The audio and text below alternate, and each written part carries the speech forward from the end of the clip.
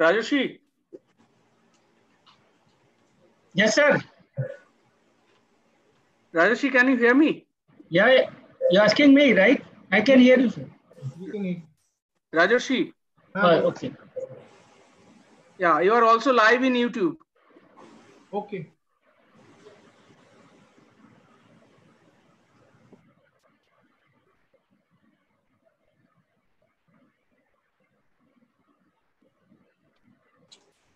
Should I mute myself? No, no, you be there. Oh, okay.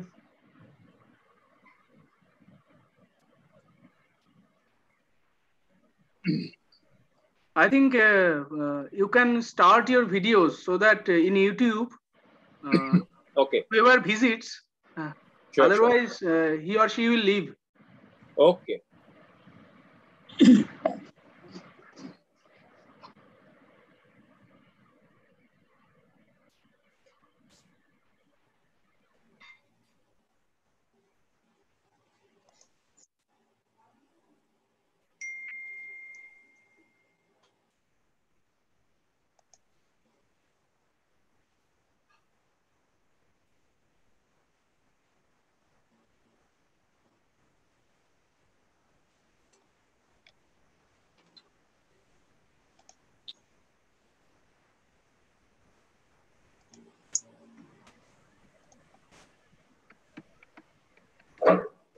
Shuman, do we do, do they start with a good morning and asking the audience to raise hand or something like that? Yeah, I'll do that.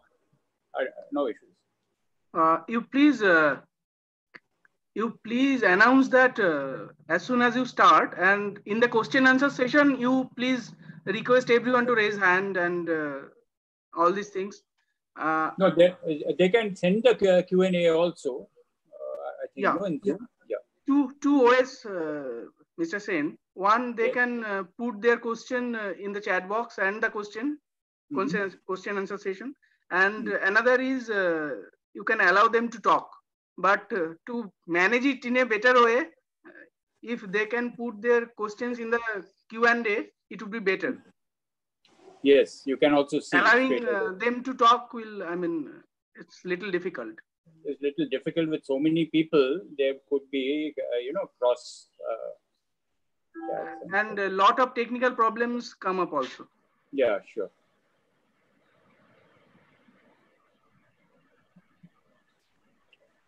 Uh, 48 attendees uh, has already joined.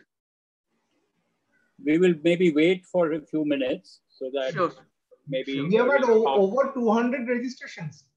Ah, so I think we should wait for an additional five minutes. You make the announcement after some time, a couple of minutes, that we'll wait for another five, seven minutes so that everybody can join and then we can uh, And start. uh, sir, at least make yourself, uh, Shuman, make themselves visible before they start talking. At least uh, those 40 will know that they are on, on track. Mhm. Yeah, they I'm are there. visible. They are visible. I'm there. Everybody is there. Mr. Ja- Jajoo, make yourself visible, or at least Mr. Mohan is there.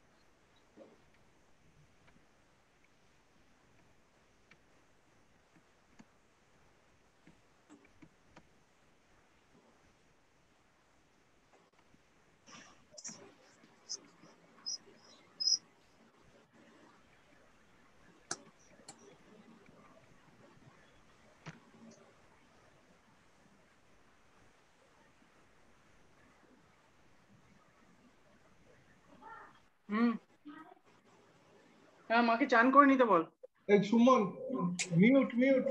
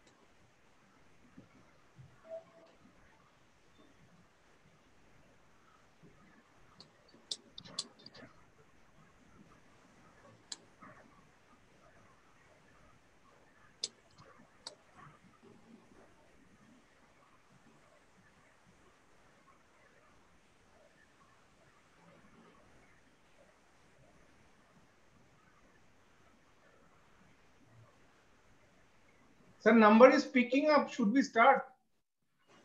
How many do you have? 70 now.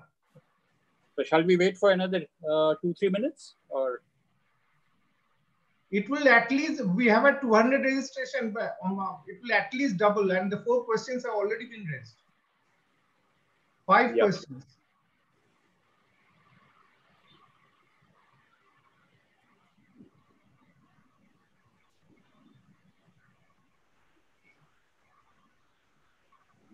Rajoshi, I think Uh, in YouTube make it us is the already 15. because- sir, sir, let's start now, sir, with the normal courtesy, hello and all that introduction. uh, Okay, because sure. We'll have to uh, share screen. Yeah, yeah, okay, fine. Yeah. Sure, absolutely. Okay, then. Uh, good morning uh, to all of you. On behalf of Indian Chamber of Commerce, I welcome you all in these uh, difficult times. We are having this webinar and uh, the topic that we have chosen today is also very important and very relevant. It is the corporate debt market issues and challenges. In fact, uh, we have uh, very distinguished uh, speakers with, with us today. Mr. Swarup Mohanty, who is the Chief Executive Officer of Mirae Asset Investment Managers India Private Limited. Along with him is Mahendra Jajoo, an expert and the head fixed income uh, uh, of the Mirae Asset Investment Managers India Private Limited. Both of them are based in Bombay today. They have made themselves available. They have come to office. Uh, Mr. I can see Mr. Mohanty in office. And I'm sure uh, today's webinar will clarify many of your questions and give you an understanding in this special, you know, COVID-19 period, during the period, as well as when the new normal comes into being. We all know today we have one and a half hours uh, with us. Uh, after we uh, listen to the, you know, the experts and the uh, distinguished speakers, uh, we will be having a, maybe about a half an hour or 25 minutes or half an hour of a question and answer session. That is the way we would be going forward. Let me just give you a, a broad outline. We all know that you know the debt market in India is one of the largest in Asia, but it is mainly because of government debt, debt issuances. In order to finance its fiscal deficit, you know all the government floats fixed income securities and borrows money by issuing G-secs that are sovereign securities issued by RBI on behalf of government of India. The Indian debt market, as we all are known, is largely a wholesale uh, market with a majority of institutional investors comprising of mainly banks, FIs, mutual funds, EPFOs, the pension fund organizations, the insurance companies and corporates. And we all know that the concentration of these large players has resulted in the debt market being fairly skewed, evolving into a wholesale and you know, bilaterally priced trades. It also lacks the retailness and as well as the contractual transparency that the Indian capital markets have been able to build. Having said that, uh, we all know that corporate bonds are also issued by private and public corporations. And uh, who are the players? What is the ecosystem in this corporate bond market? The ecosystem, of course, the, the regulations and gov- governance, the SEBI, RBI, the credit rating agencies, the stock exchange, the clearing houses, they are all there. The participants, we all know, the investors, it, uh, the investors could be, you know, banks, companies, high net worth individuals. These are, and the securities, debentures, uh, fixed and floating, CDs, CPs.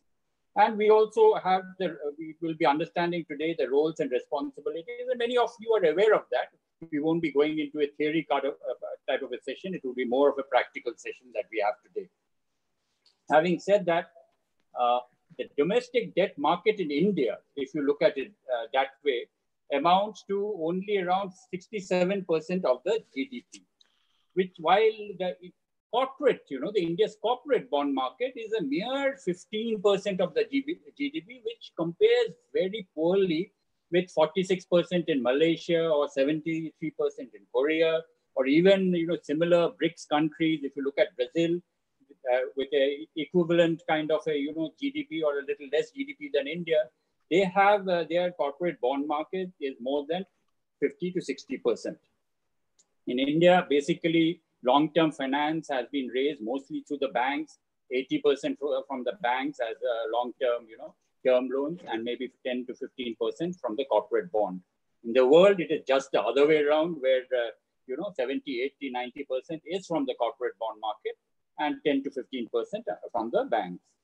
So in the past few years, the domestic corporate uh, bond market has seen increasing volumes, largely due to you know the investments going into it, including some retail participation from high net worth individuals, and also uh, the banks, you know, uh, we have seen that found it easier.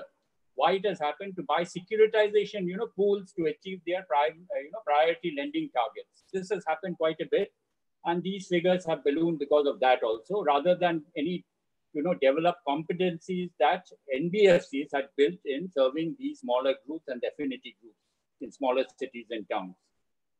And what we see today, that uh, post the IL&FS uh, crisis, the markets have started shunning non-banks again, the DHFL crisis, and recently we have uh, the crisis with Franklin. So this has broken the, you know, the moral compass, uh, and it has made the crisis much, much deeper and which the sufferer are the industry, which have been deprived of liquidity. And this has, uh, you know, uh, uh, further worsened the investment sentiments. There have been, uh, you know, various uh, policy initiatives undertaken in the last uh, few months or a little before that to fructify and stabilize it. And RBI's borrower framework for enhancing credit supply, SEBI's bond market policies, they have all been trying to course correct it for the stability of the markets. And now for the Indian economy to revive and kickstart again post the COVID-19 scenario and during the COVID-19 scenario, we'll be hearing from the experts. And as a nation, we cannot afford economic stagnation. And I think uh, there is an opportunity in this kind of a discontinuity. And the bond market, which we are looking for for so many you know, years, people have been uh, speaking about how to make uh, activate the bond market, can be now do it, can it play a key role in our infrastructure development? Our uh, regulators need to work along with the various governments, especially the states also and the central government for smoothing the fiscal hiccups that are there. And uh, as for uh, from the, you know, from government's perspective, uh, government being the largest borrower and owner also of num a number of institutions, which are market participants, the banks, the, many of the other market participants, can something be done? What are the uh, regulations and granularity of information that is required? Various state governments and industries will also need further liquidity at this point of time because of COVID-19 and to fund various social and sectoral you know, areas.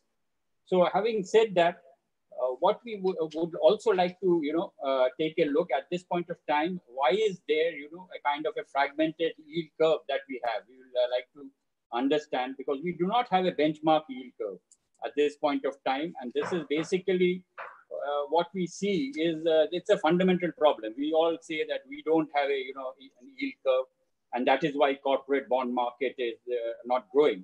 And this absence is basically spanning across various different maturities and different rating buckets.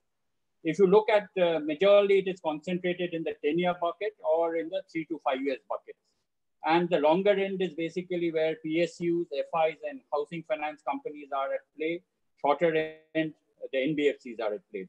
And again, the role of the rating agencies, uh, uh, as well as the role, as well as, uh, you know, whether it should be double A and above, or we can, you know, go down to a little less uh, investment rate, but, you know, triple B, triple B plus. And uh, how can we develop this continuous government yield curve? And without it also, how can corporate bond market you know, move ahead.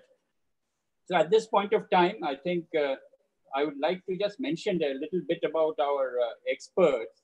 Uh, you know, uh, Mirae, uh, you know, uh, investment company, it is actually a global investment company across the globe, and it has uh, different, different, you know, it is not only in India, and it, you know, serves, in fact, not only for the risk management part of it, it looks at uh, mutual fund. It has a venture capital fund looking at startups. It has uh, different holding companies at different places, looking at uh, real estate funding in India as well as abroad, as well as, uh, of course, Mirae Securities, uh, you know, institutional bro uh, broking.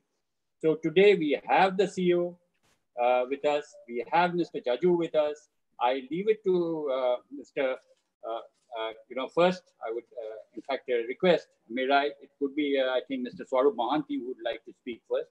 Mr. Mohanty, it, the, you know, the floor is all yours. And after that, Mr. Jajoo, we'll be taking questions, as I mentioned, and you can put your questions in the Q&A. That is much easier.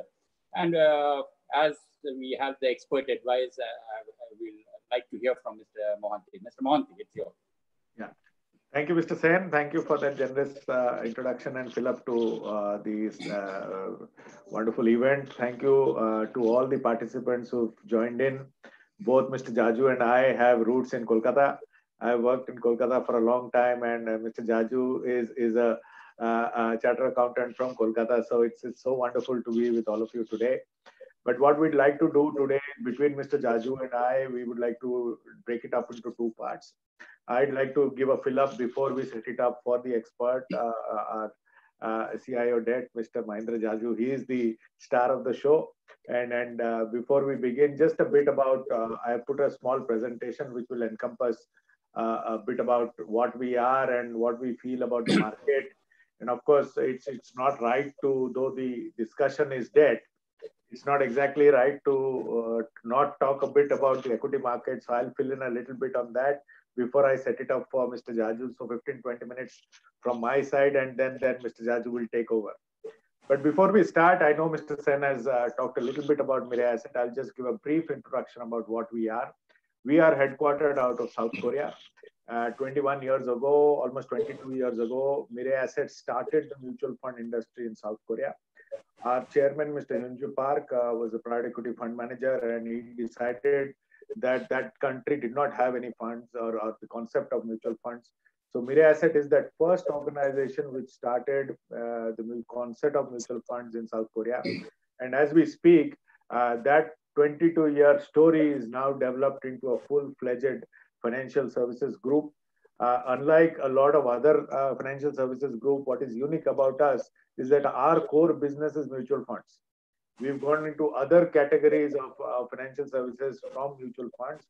Uh, we are a pretty accredited uh, uh, global uh, mutual fund in Korea, almost 25, 26% market share there. We just tied up with the, or we bought over the largest stockbroking firm there, Daewoo Financial. And today we are the number one stockbroking firm in, in South Korea. We have a fair presence on the life insurance side. And of course, we have other affiliates as, as Mr. Sen was talking about is not just uh, mutual funds, but from mutual funds, we are a unique case study where from mutual funds, we've developed into a broad gamut of financial services ranging from investment banking to a real estate via some large uh, acquisitions that we've done globally. Yeah, when it comes to the broad uh, organization, we are based out of 15 countries uh, uh with clients over 40 countries. Uh, uh, we have 15 offices spreading 12 different countries the way we position ourselves is most of the financial services arm set up their uh, uh, uh, you know products from the western side of the world to showcase them on the eastern side of the world. We are just the opposite. We set ourselves up from the eastern side of the world and showcase ourselves to the rest of the globe. Yeah, and then from an asset perspective, we manage over one almost 130 billion, which is spread over all the asset classes from equity to infrastructure uh, very evenly spread between uh, the institutional and the retail. And, and what used to start, what started 22 years ago as a long only equity fund house, today has almost 25% of its assets in passive uh, funds. From, from the India perspective, we, we started in 2008 and 2008, like the crisis that we are going through now, we started just before the 2008 financial services meltdown globally, and and uh, so we had to take a back step on our business plans. We restarted in 2010 and started what we call a process of building track record for our products. If you see that period from 2008 to practically 2014, our, our assets were practically nothing as we grew. But you know, in four years, people took cognizance of the quality of our products, and, and today, just before the uh, uh, lockdown, we were almost 48,000 in 48,000, over 48,000 in assets. And then due to the valuation drop, it came down uh, in the month of February. But we are almost 42,000 as we speak due to the small rebound of the market. it is broken up today, as Mr. Sen sort of introduced. Uh, we are not just a mutual fund. We also graduated like our parent to our other parts of the business. Today in India, we are two parts. The Mirae Asset Daewoo part is also present in the form of Mirae Asset Capital Markets, which is the institutional broking and investments banking side of the arm. From the mutual fund side, we, we, we are the fund. We also have an alternate investment side, which will probably go on to become the NBFC of the, uh, of the group today. Uh, that, that primarily focuses on real estate, but will graduate to become a full-fledged uh, uh real estate uh, NBFC in the market in the coming times.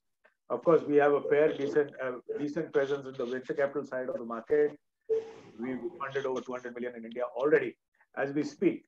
Uh, when, when we look at the debt side of our offerings and out of the 48,000 odd, we manage nearly 7,800 is on the debt side. Uh, we started working aggressively on the debt side in the last four years uh, with Mr. Jajoo joining in and taking over the mantle of building our products. And, and in that journey, you know, we build mostly products on the shorter end, but with, with two approvals of arbitrage, which though falls on the equity side, and, and, and a bank and PSU fund, we need to expand this uh, basket of funds uh, uh, a little bit more.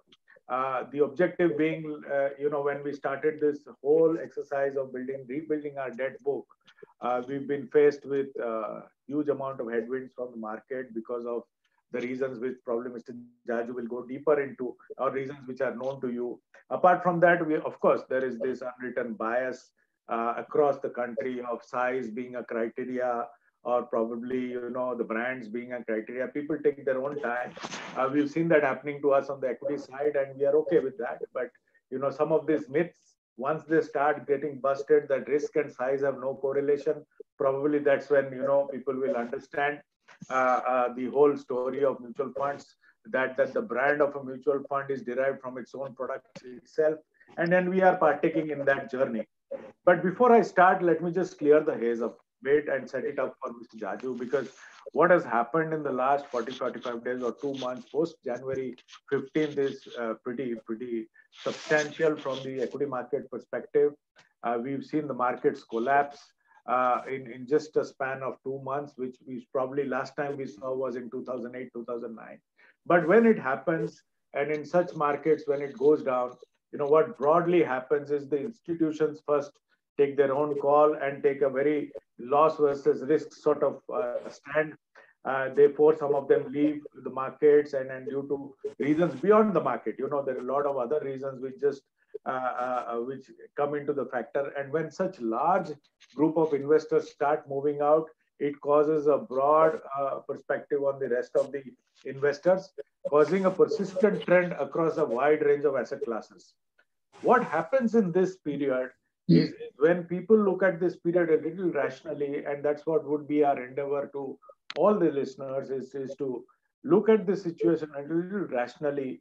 And if people take cognizance of that rational behavior, one can develop what we call a crisis alpha.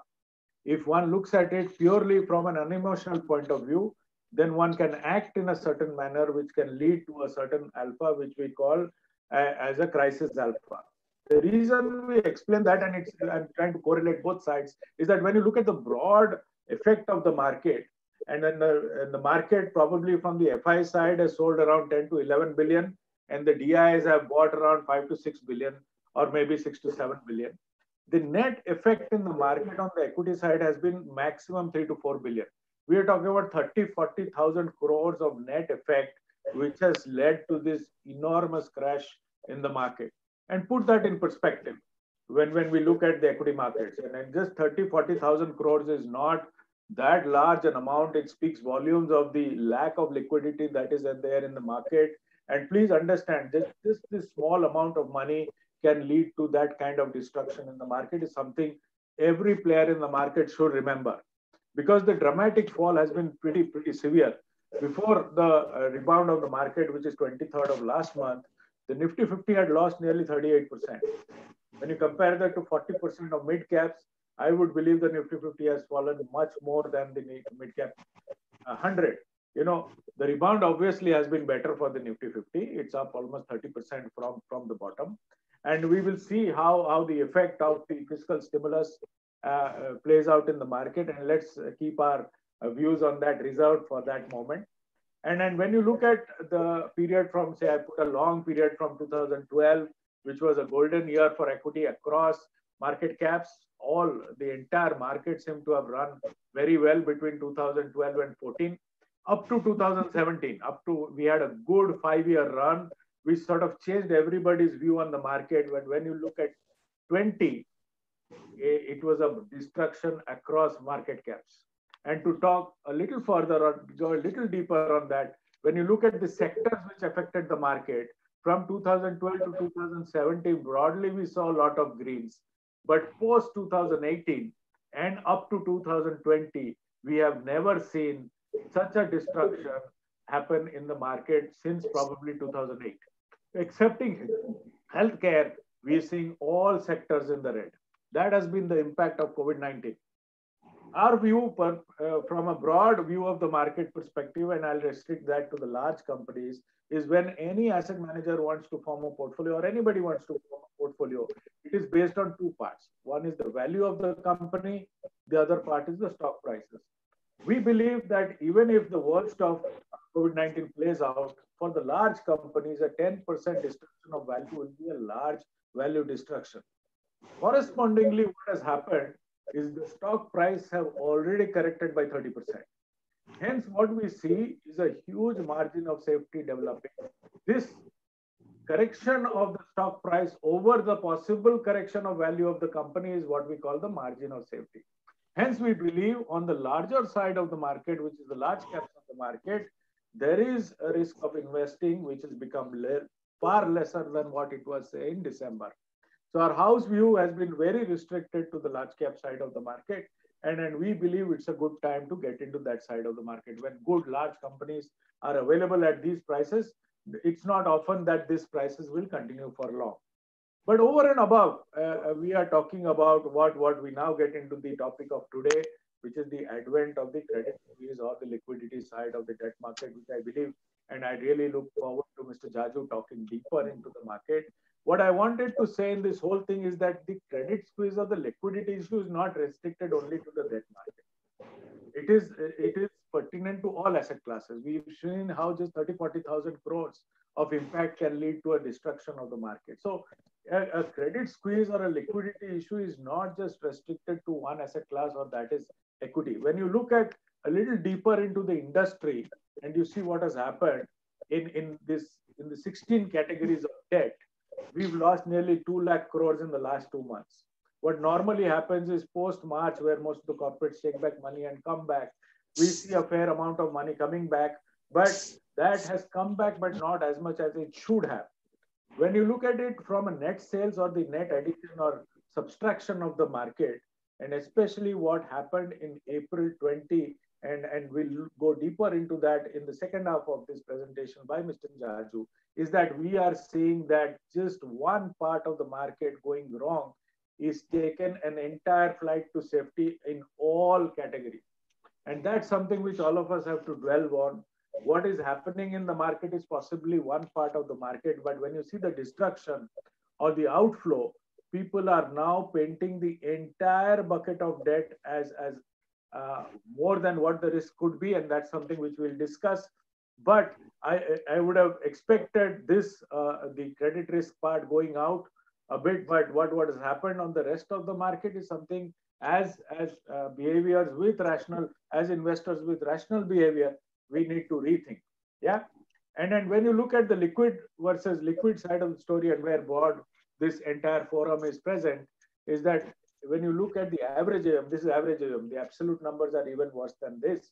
We've seen a distinct shift out of the liquid side and the overnight side of the corporates. What used to be above five and a half lakh crores on the orange side is the corporate side, the blue side is the retail. What used to be over five and a half lakh crores is below five lakh crores today in April.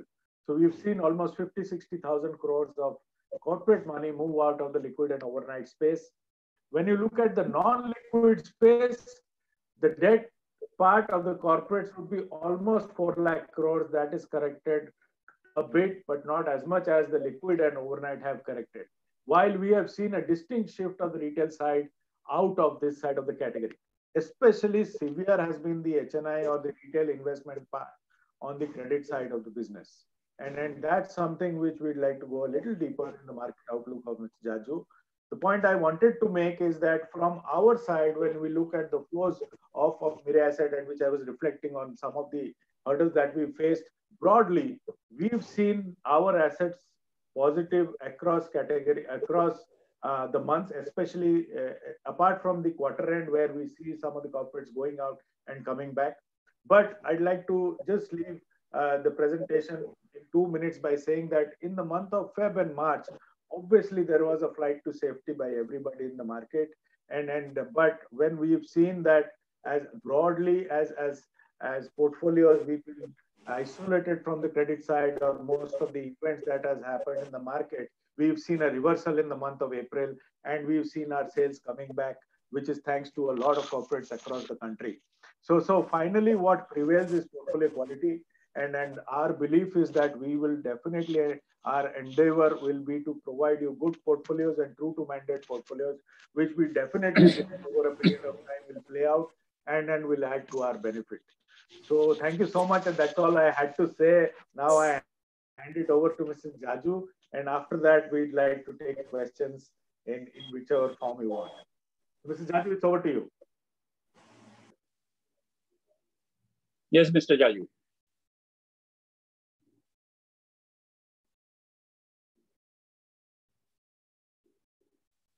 So, uh, good morning or good afternoon. Uh, I don't know because it's just exactly 12 right now. Uh, but before I start, let me just uh, say that I'm a fund manager as per the SEBI regulation. So please uh, read and understand whatever I say today in line with the disclosures and disclaimers which are given at the end of my presentation. Uh, secondly, the corporate debt market is a vast market and we have limited time. So I will cover uh, the broad aspects and uh, I'll try to do the justice to the time I have and cover the uh, major issues. Uh, let me just uh, switch to the screen share mode and uh, bring up my presentation. I hope you can see my presentation on the screen. Yes, I can see. Yeah, so let me just start uh, saying that we are starting uh, the discussion on account of COVID. So let me just uh, start with asking what has changed for the investor in the COVID times. So in my view, everything has changed. Uh, the way we look at the global macro environment, the way, way we look at the economy, you know, all along our discussions used to be how much the economy will expand by. Now the conversation has changed to how much the economy will contract by. Growth, again, globally, there is a fundamental change happening uh, we have never seen the economy getting locked down before. And the expectation is that even going forward, uh, the growth, uh, the way we look at the growth will have to change because there is likely to be significant change in the behavior pattern in terms of social distancing and so on. And then finally, the valuations. I mean, the way we look at the valuations, and I'm not talking to the equity valuations, but how we look at the debt markets, how we look at the valuation of the fixed income, in terms of the economic parameters, and I'll cover that in more detail. So everything that we know about the markets, about the global economy has changed. But what has changed in us? This is what has changed for us from the outside. I, and in my view, as far as we are concerned, nothing has changed. We are still governed by the same factors of greed and fear. We have the same cognitive biases. We do a lot of scrying. We do crystal ball gazing. Uh, right now we are in the middle of the crisis and we don't know uh, how the crisis will end and whether it will end for how long it will last but we are trying to build scenarios and we are trying to find a solution and a trade for the you know post virus situation and obviously therefore we are being impatient in this whole situation because they are not waiting for the markets to tell us what is what to do and then uh, looking at the anatom anatomy of a crisis normally a crisis is made up of two parts. One is the external factor as to how the external world has changed, and then uh, how is one's own state of preparedness, how is one's own state of mind, and that makes up uh, the impact of the crisis. So how do we look at a crisis is a function of how the external world has changed, and how our internal situation has changed. So just to give you an example, uh, we people in the financial market or corporate world, all of us are now working from home. Uh, for us, there is a little bit of inconvenience, but largely for us, people in the financial market work from home is largely the same as work from office because most of the systems that we use are right now anyway linked to the net. But for an Uber driver or for a daily wage earner, the life has changed completely. And for him, the crisis has a very different meaning. The crisis has a very different meaning for the corporate world. And within the corporate world, the life has a very different meaning for the SMEs and for the restaurants and the hotels. So I think the impact of the crisis, as you see, is a function of not only how what's happening outside, but how it affects each individual person. And then our response to the crisis evolves as the crisis progresses. Because when this kind of a crisis starts, we don't exactly know how it will progress. And when, uh, as we are right now in the middle of the crisis, we don't know how it is going to end. Therefore, our response to the crisis has to change. And uh, there has been a lot of, uh, I think, uh, you know, debate on uh, when the government should have given the fiscal stimulus, whether yesterday was the right time or right at the beginning, like uh, some of the countries like US and Germany did was the right thing.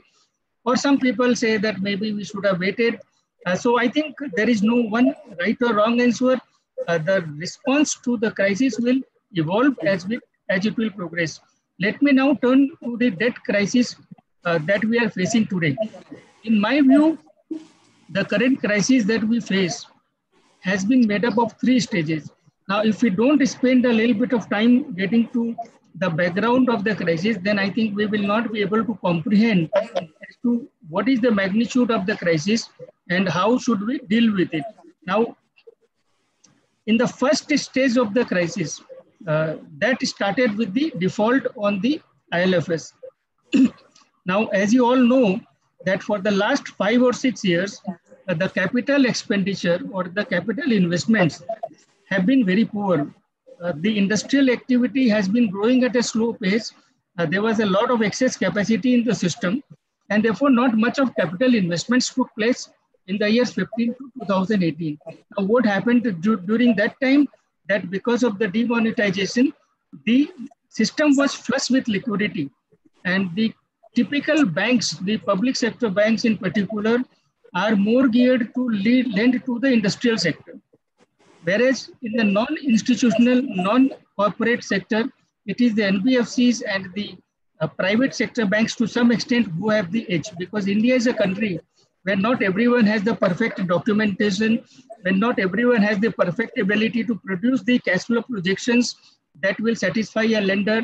There isn't everyone who can create the perfect security for the loan and therefore in the zone between the perfect borrower and the perfect lender, the NBFCs fitted in very well. So there was a virtuous cycle where the excess liquidity in the system uh, ended up with the mutual funds. Mutual funds uh, typically got the most of the money in the liquid funds.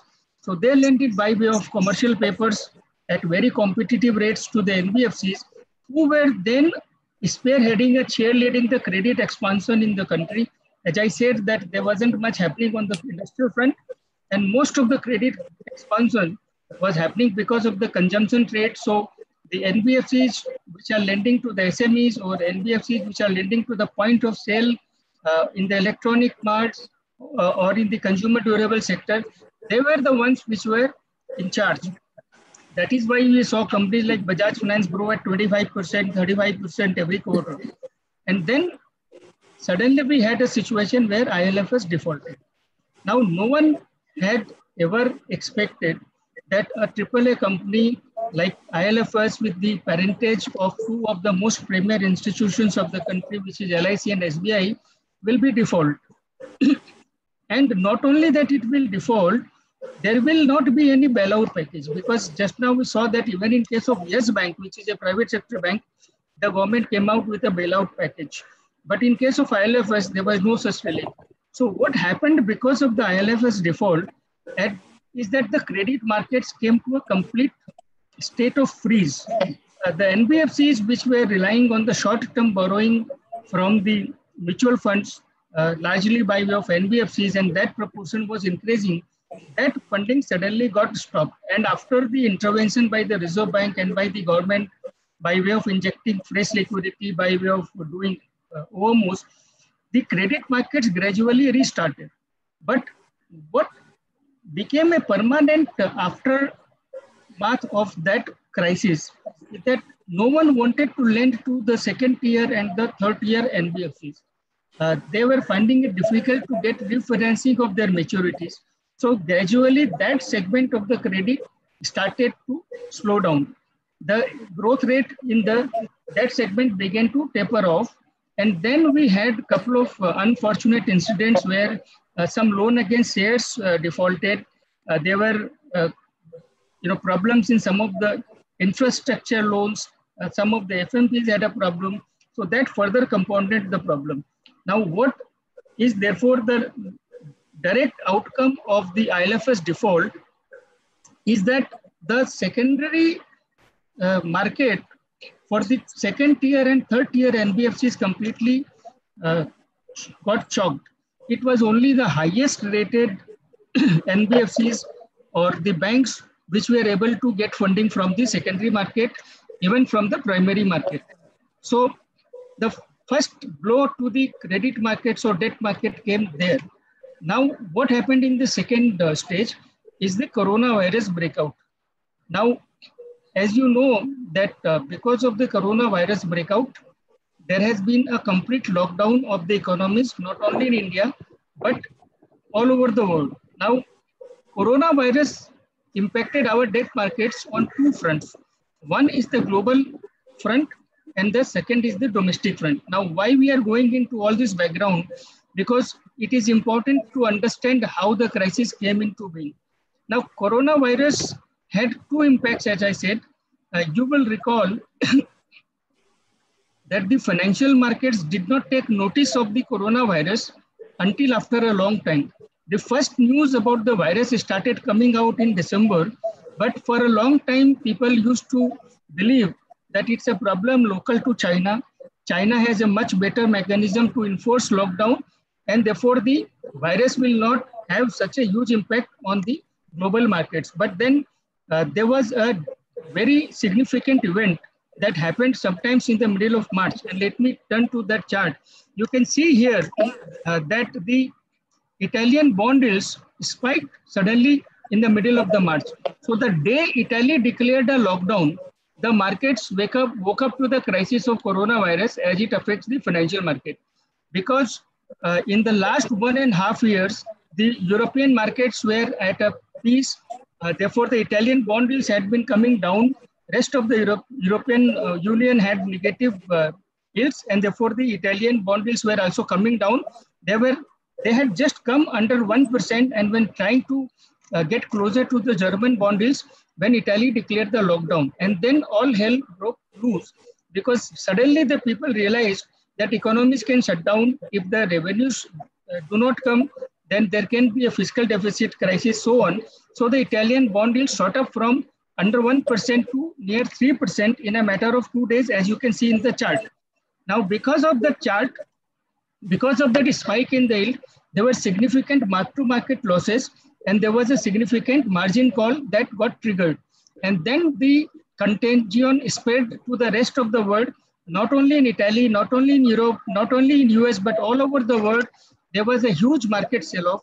You will remember in the month of March, early part of the March, our equity markets tanked 30%. Our currency hit the lifetime high of 76, 75, and our bond yields uh, spiraled up. Uh, in the global markets, because of the losses and because of the margin requirement, there was a huge sell-off. Uh, there was a huge cash shortage. If you look at the Bloomberg Global Financial Stability Index in the month of March, it hit a all-time high. So because of the dollar squeeze, uh, there was a sell-off. Then the FPIs pulled out big money from India. Uh, because of that, the bond yields went up. So the mutual fund NAVs went down and that in turn triggered uh, redemptions from the mutual fund NAVs, uh, mutual funds, and therefore there was a kind of a chaos and dislocation of the financial market. Now you will recall that Fed had quite early uh, reacted to the coronavirus breakout and they had cut the rates by 100 basis points to near zero. Uh, but that did not uh, stop the markets from getting into this tailspin.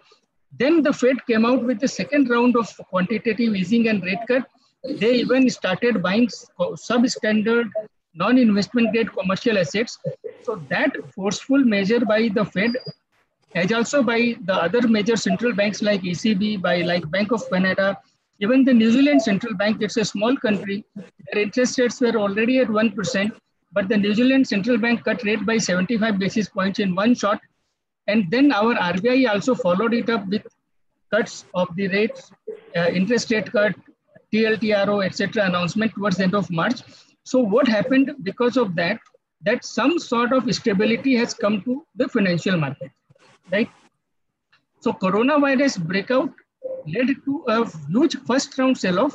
And now we are in a bit of a hold mode because of the strong action by the global central bank.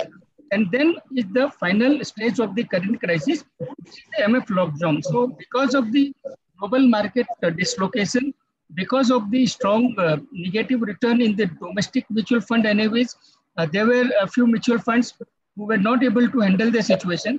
And therefore, uh, there was a, a steep uh, panic in the debt markets, uh, in the mutual fund markets, and a lot of redemption took place following that. So that led to the third part of the crisis. Now, what is the impact, combined impact of the coronavirus crisis and the mutual fund crisis? That the second tier and the third tier NBFCs are finding it even more challenging to even survive. Now, there are three factors which have affected the existence of the tier 2, tier 3 NBFCs. And over a period of time, it may spill over to even the rest of the NBFCs. So, so what is the first factor? First is that today, because of the lockdown, no economic activity is happening. As we discussed, that all the economies are under lockdown. Therefore, the fresh uh, consumer durable sales is not happening. Fresh uh, shopping is not happening. Therefore, the new loans that the NBFCs were giving, that has completely stopped. Now, one of the very important factor in valuation of the NBFCs was the 25-30% every quarter growth. Now that growth has evaporated. So that is the first factor for the derating of the NBFC segment. Same is the case with the SME or the MSME sector where the business has stopped. The second factor is that because of the lockdown, there is a huge loss of income uh, there is a loss of job opportunity and therefore the NPAs are likely to increase for these companies and therefore uh, there is a concern on the balance sheet strength of these companies. And because of the first two factors, in so to say in a loop, the third factor is that these companies are now finding it extremely difficult to find fresh financing from the market. No one wants to deal with them. And now that the crisis has been there for nearly one and a half, two years, whatever old loans that they have taken for which the maturity is coming, they are not able to refinance even that. So if you look at these three factors together, the growth evaporating, the NPAs rising, and then the refinancing becoming a challenge, that is pretty much what defines an NBFC business model. So today they are facing an existential crisis. Now, when people invest in debt market, and especially with reference to the mutual funds, people are very afraid of the volatility. Uh, they define risk in their own way, not in the way it should have been defined. So people find solace and comfort in the uh, credit funds uh, where they think that they will get higher yield. But then uh, if you look at the composition of some of the uh, debt funds in the credit risk category, the exposure was highly concentrated in uh, three sectors, infrastructure, real estate, and the second tier, third tier NBFCs. Now, it doesn't uh, require very high level of awareness to understand that these are the three sectors which have been hammered uh, both in terms of their uh, economic performance, both in terms of their stock market performance, and not surprisingly in terms of their uh, debt market performance. And therefore, uh, there was a spiral of illiquidity, uh, redemptions, the typical loop that happens when the crisis happens. Whenever there is a crisis, it is the strongest that survive and the weakest that perish. So between these three, we have now the debt crisis. Now I know that a lot of you people are from the manufacturing segment.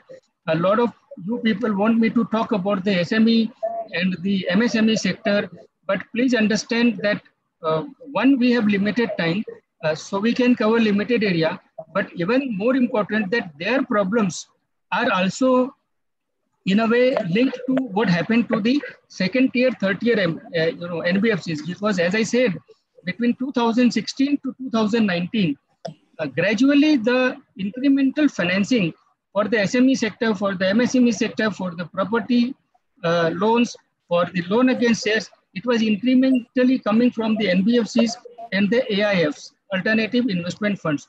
The banks were facing their own challenge of the NPAs and the banks were facing their own challenge of not being able to, compete, to be competitive in the non-industrial segment. And therefore, uh, the MSMEs were a big catchment area for these NBFCs, which were growing at 25, 30%. We saw a lot of uh, foreign uh, people set up their NBFCs in India. Uh, they were very aggressive in lending. So a lot of the MSME problem today also is their inability to source funding from the same NBFCs. And then uh, that is what resulted in illiquid debt markets. That is what resulted in the complete chaos in the market. But as I said in the previous slide, that the response to a crisis evolves as it progresses. So we saw the government come out for the first time ever a loss guarantee for the MSME and the NBFC sector we will deal with it a little later. Uh, so this is how our crisis is uh, made up of. Uh, we started with one default and then it boomeranged into such a huge crisis where today there is complete lack of trust in the debt markets. There's a complete lack of confidence in the debt market.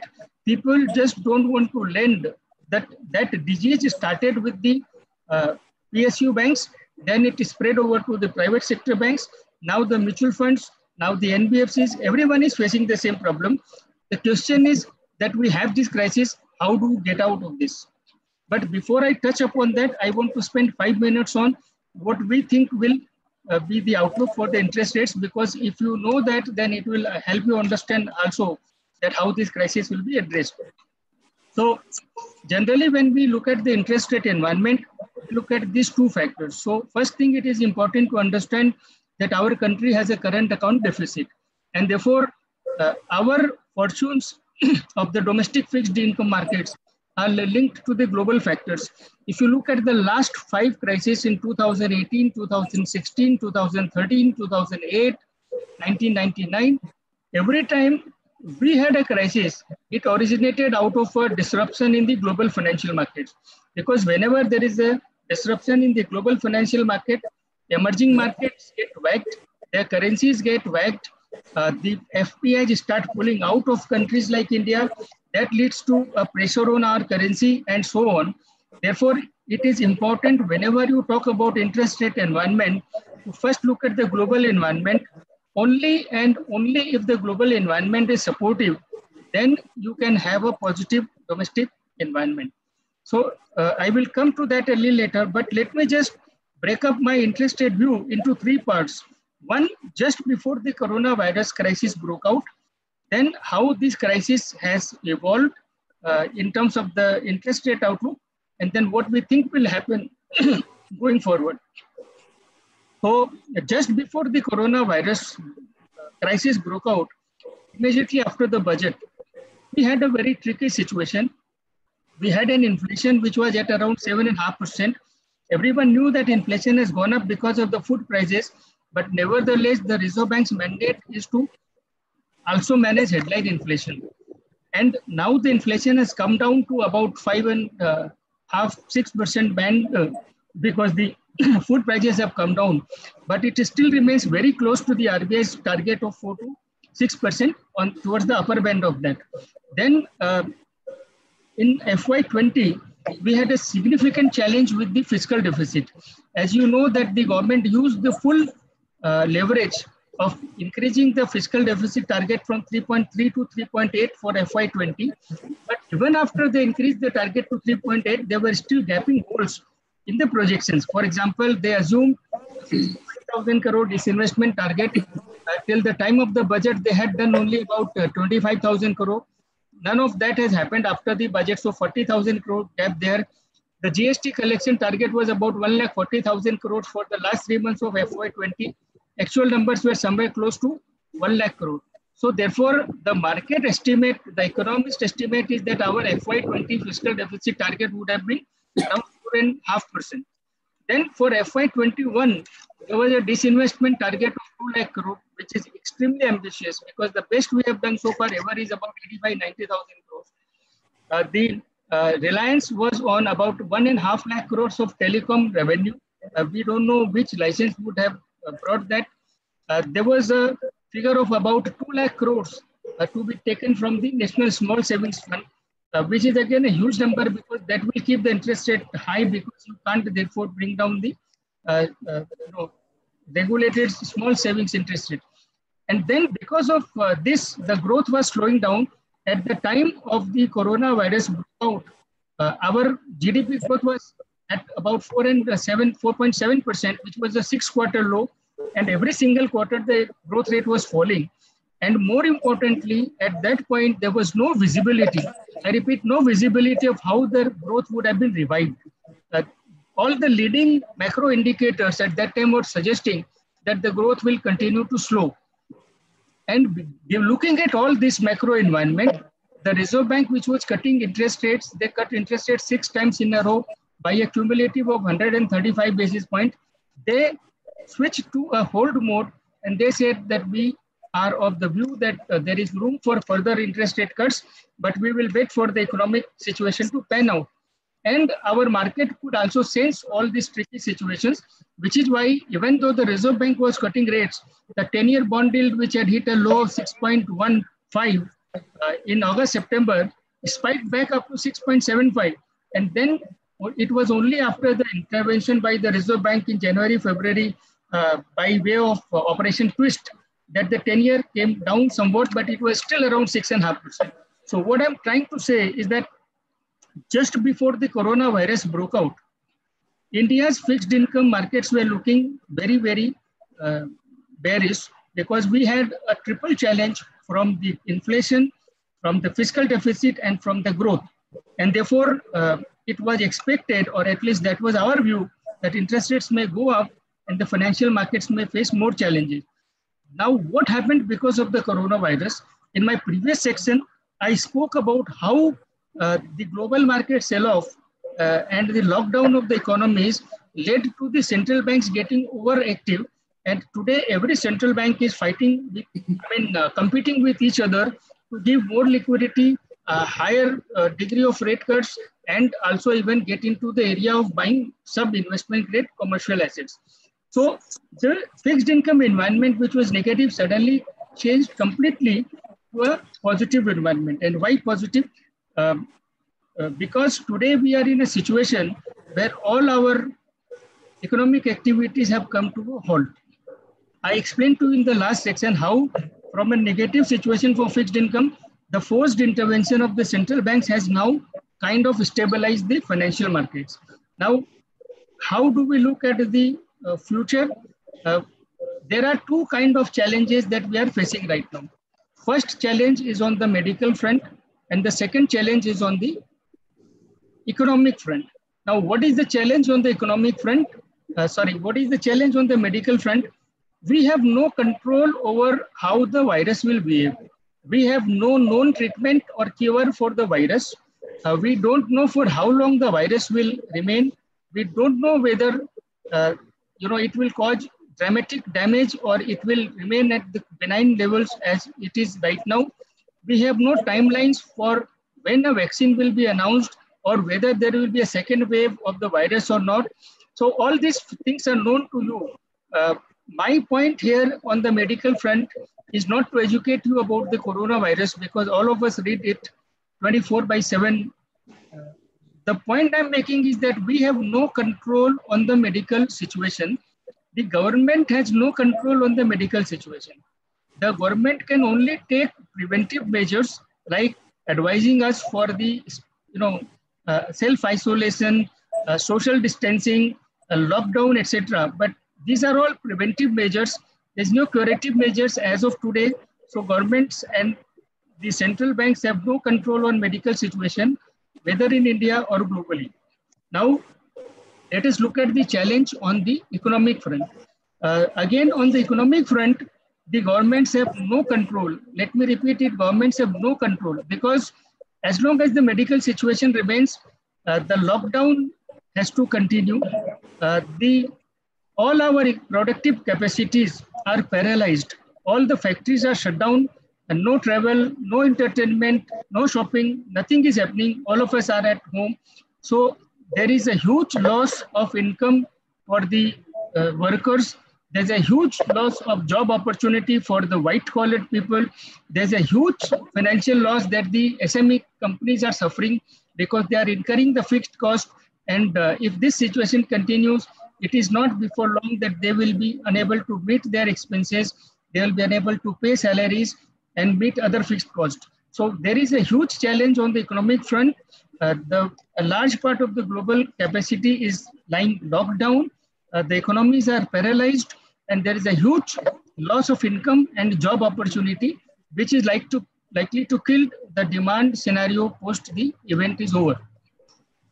So what are we saying? Therefore, that again on the economic front, the governments have no control because as long as the medical situation is not improving, the governments have to take measures. Now, uh, in the fourth phase, in lockdown four, you might get some relaxation, but by and large, you still will be operating in a very, very restrictive environment. And one of the challenge that uh, uh, the companies will face up in lockdown four is that even if you start your factory, where is the demand? So let's say cement, there are number of cement plants which are operating, but they are seeing uh, only 30, 40% of their capacity being used. So there is no control on the economic damage that we face. Neither does the government, nor does the central banks have any control on the economic damage. There is only one action that the government can take and which they have taken. That is to provide financial relief and fiscal stimulus to people who are suffering because of this crisis, not because of their fault, but because of the external factor of the virus on which no one has control. So just to recap, government has no control on medical situation, government has no control on economic situation.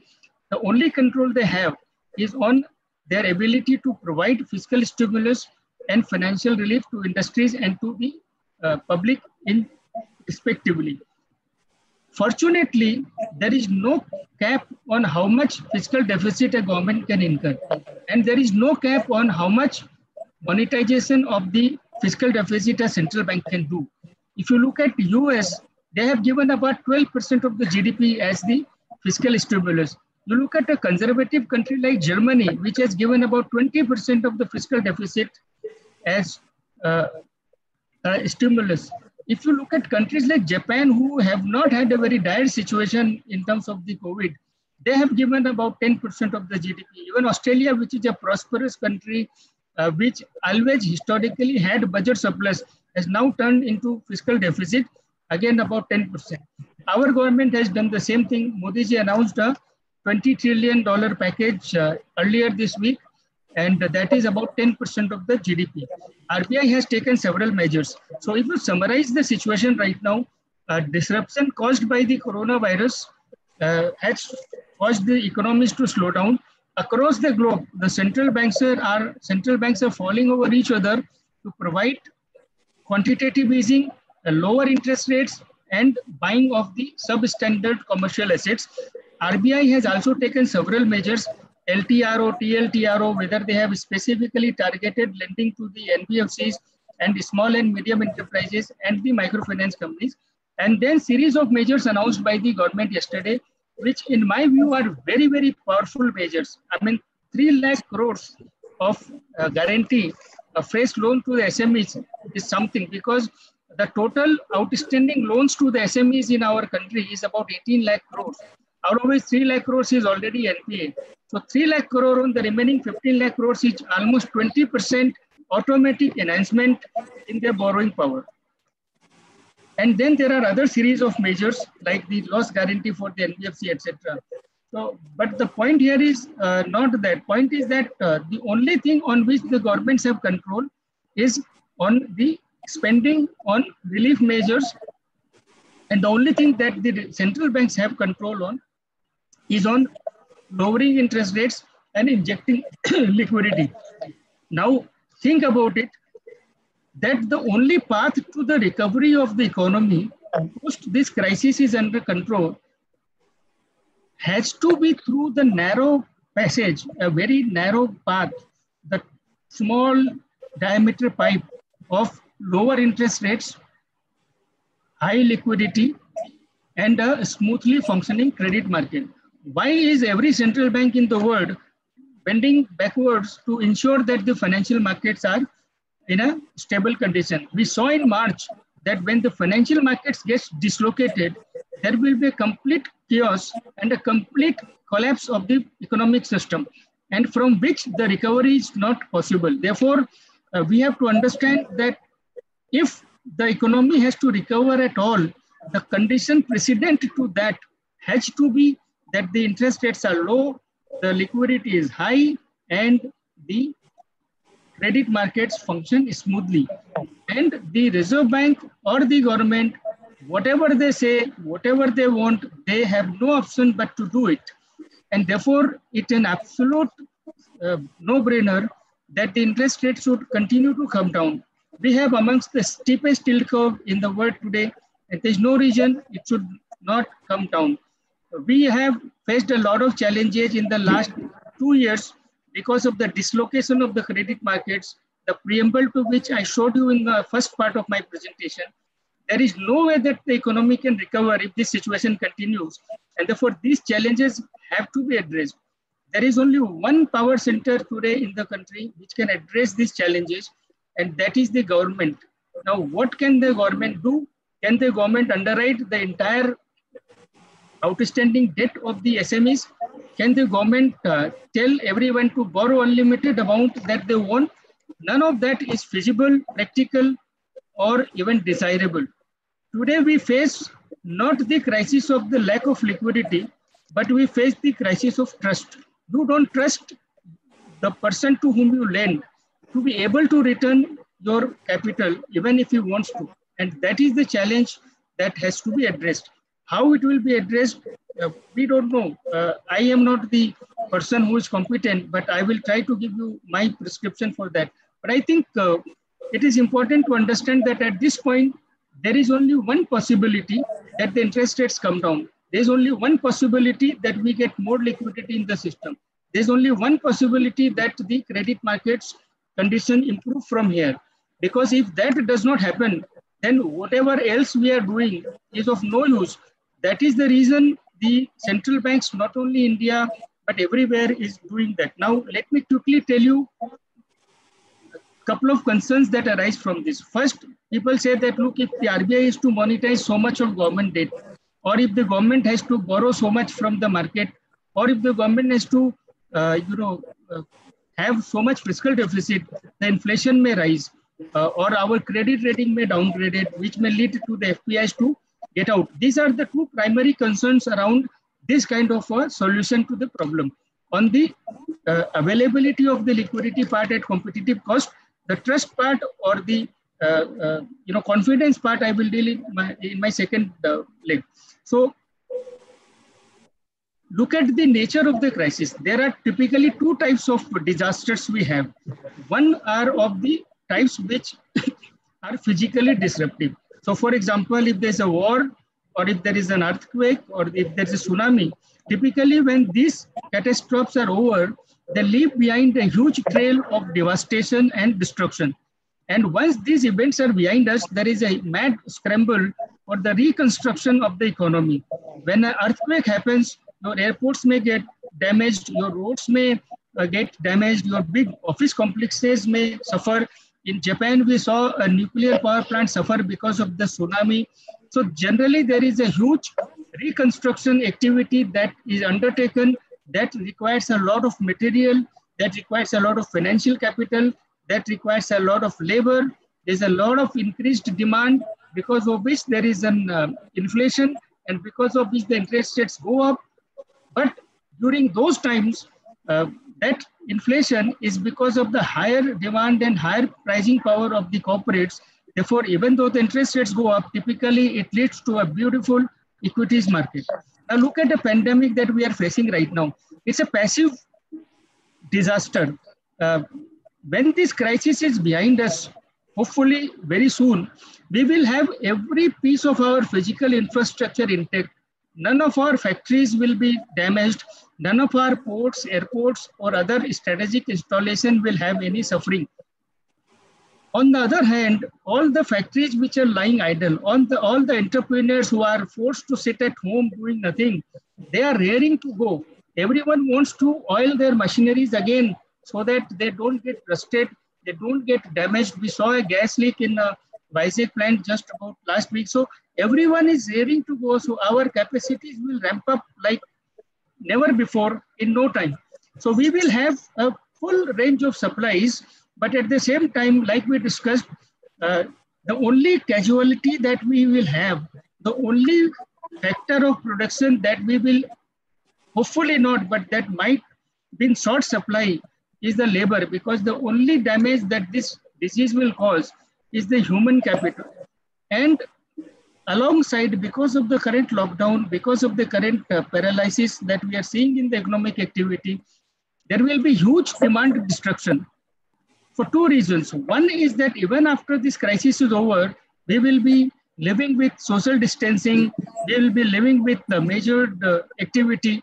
Therefore, uh, areas like entertainment, areas like uh, travel, vacation will suffer uh, possibly huge demand curtailment.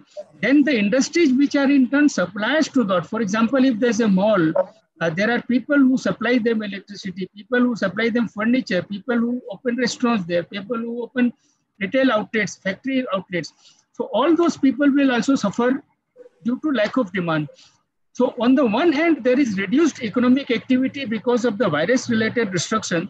On the other hand, we will have the loss of income, loss of your wealth that has been accumulated in the past time during this time. And then there will be a significantly subdued demand, uh, that too also in the basic sectors uh, immediately after the crisis is over. So we will be ending up with high supply, poor demand. Therefore, at this point, what we need to worry about is a possible deflation and not inflation. Now, is this the only possible outcome? Possibly not. Look at the history of the pandemics. In 1920, there was Spanish flu, which was followed by recession and deflation for exactly the same reason. In 1380, by now, I think everyone has read about it, Black Death, same thing followed by deep recession and deflation. So this time we need to worry more about deflation than inflation. Second factor about the rating agencies and about the possible FPI outflow. As I said in the beginning, there is a huge liquidity surge in the global markets. Globally, in most of the places, interest rates are negative. And therefore, once the markets stabilize, those FPIs will be looking to invest that money somewhere.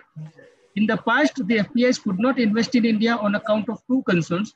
One was the government restriction on FPI investment in debt. Now we know that in the first quarter, the government and RBI together have now allowed the FPIs to invest unlimited amount in the government bonds for unrestricted period. So today an FPI can invest whatever amount it wants in government securities and can bring it anytime, take it anytime, just like in case of equities. Now there is no longer any restriction on the FPIs investing in government bonds in the specified government bonds. So government has specified about seven or eight bonds where the FPIs can invest like equity. And the second factor is the credit rating.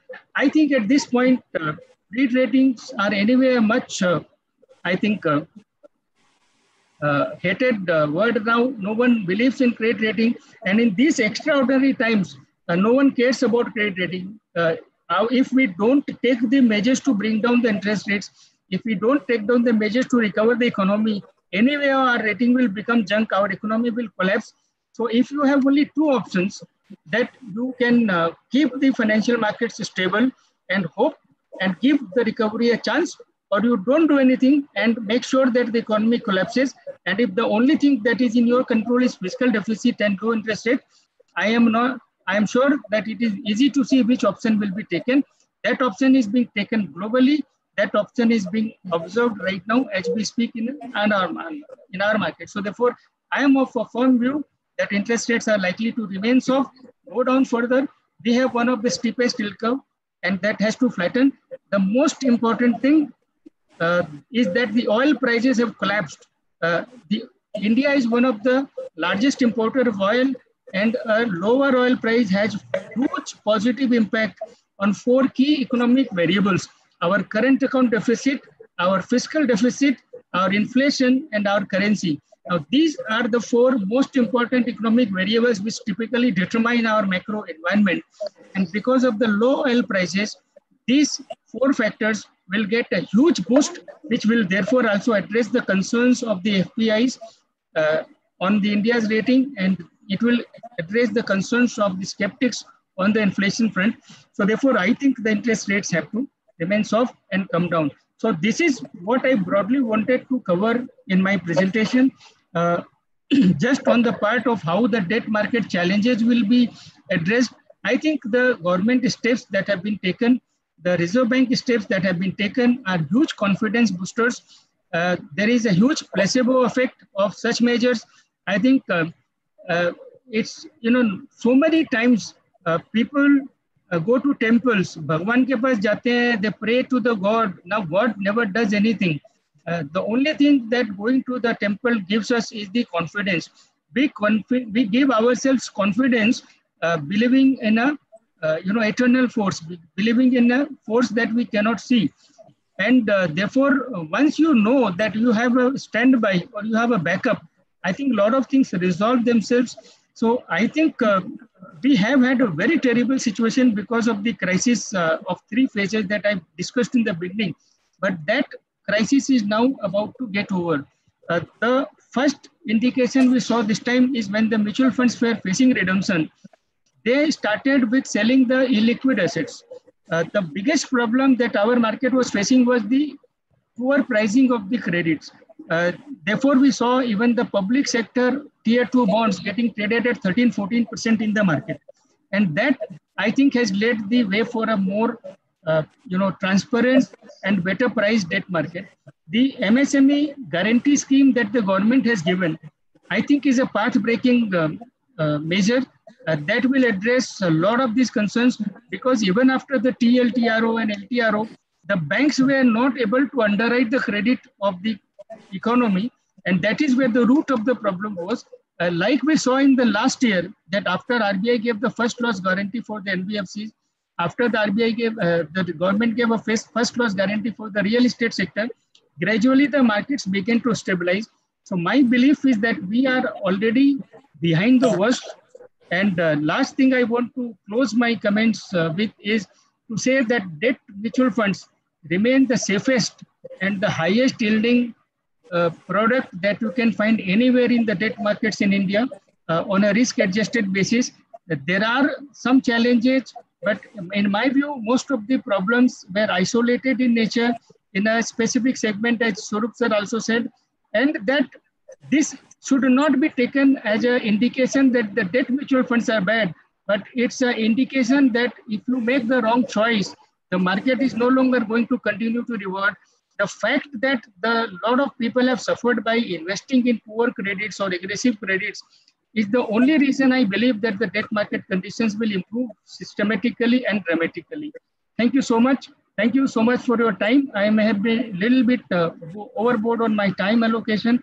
I still had a lot to cover. Uh, some of you may not be completely satisfied, but I have to stop here. Thank you.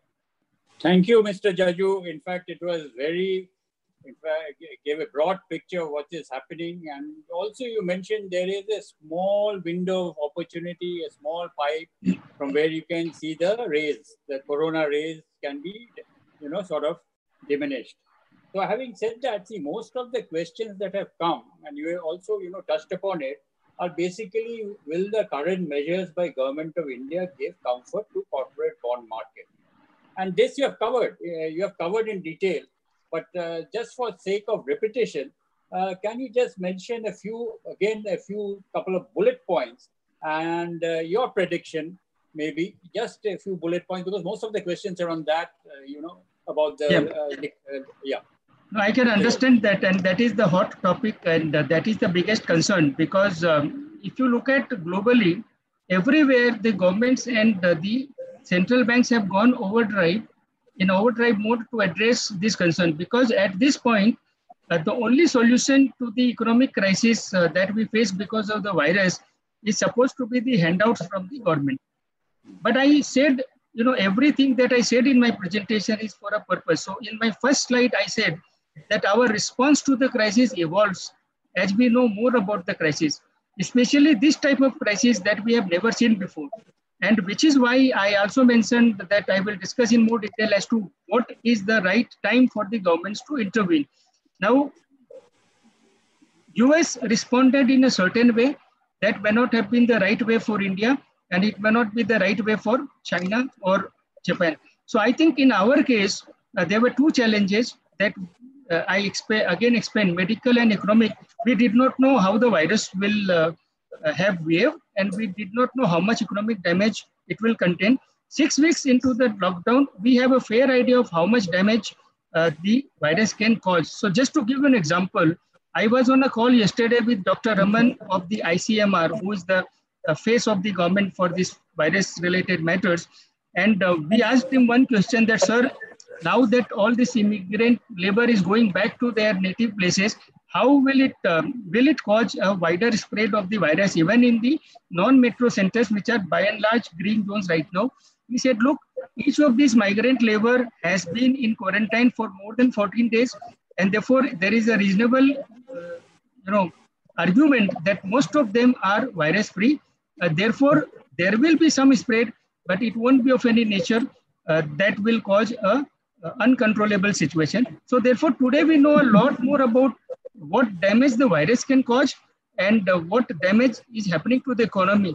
So in my view, the government was sizing up the extent of the problem and then what are the resources it had. Uh, I know that you have not been a part of my earlier conferences, but one thing we consistently maintained everywhere that if the government doesn't come up with at least 10% of the GDP, it will be waste of resources. And that is what uh, fortunately has happened. So in my view, uh, there is always the darkest before the dawn. And that is what I think uh, we have hit. We have hit the dawn. Uh, the government has uh, gathered its wits.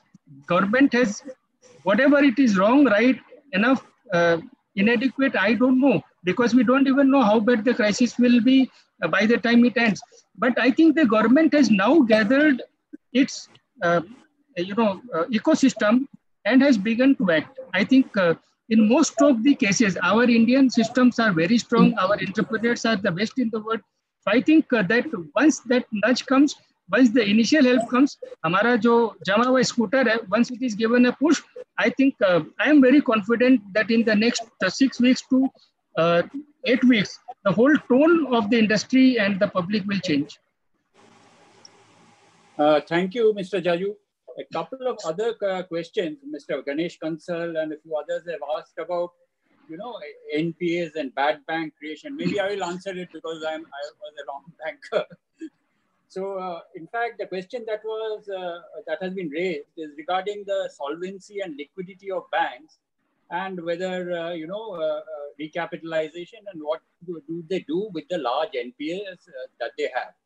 Now, first, uh, maybe I will, uh, you know, touch upon the solvency of banks. One thing good that had happened regarding the solvency of banks is the merger of banks. First, the SBI uh, got, uh, seven uh, associate banks got merged with SBI, and then many of the other public sector got, uh, banks got merged with strong public sector banks. And this whole exercise got over, thankfully, around February or March of this year, actually on 31st of March of this year.